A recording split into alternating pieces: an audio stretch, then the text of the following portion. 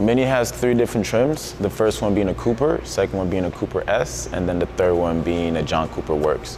Uh, the difference between the three is car performance with the engine.